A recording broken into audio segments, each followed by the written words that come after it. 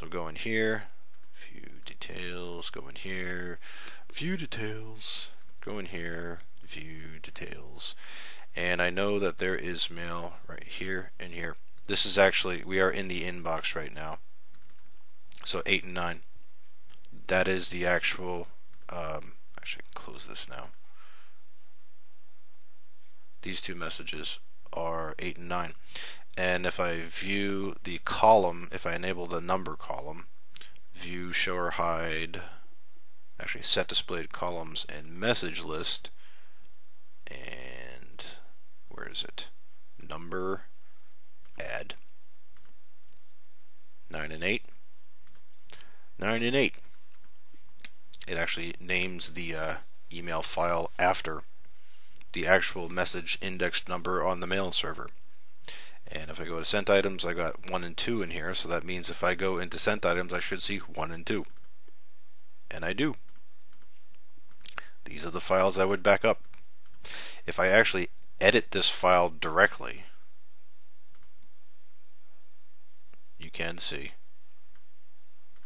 there's the mail. So that's how you back up stuff. And it's beautiful that it's done like this because um, it avoids mail corruption. Now, the, of course, this does present a security issue, which means the mail is stored completely unencrypted, unencrypted locally on your computer. That is true. Absolutely true. But for some, well, just to deal with, with this, is, uh, Mail is just so much better than dealing with, say, Windows Live Mail, which is basically the only other mail client for Windows that does Maildir besides Claws. I don't know any one other one that does it. And Maildir is oh I'm sorry, Opera Mail does. If you have uh, if you use the mail client from the Opera web browser, that does store mail in Maildir format, but man is it a pain in the ass to get to. Now, here's one last thing. I'll go to the task manager and I'll look up uh, Claws Mail. Oh, I landed right on it. Look how little memory it's using. That is amazing. And that's after I only jumped in a couple of windows. If I actually close this mail client completely, and I'll restart it.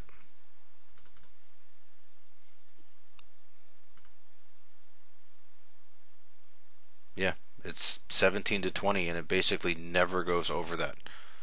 It barely takes any memory. And that is such an awesome thing. Because especially for those of you out there with slower computers, Claws Mail, it's faster than webmail. Absolutely faster than webmail because you're not loading any ads.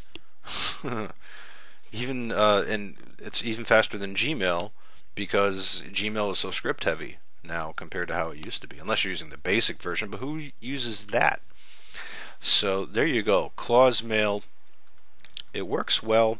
And if you want to go truly old school, okay, I showed the Netscape thing. One last thing.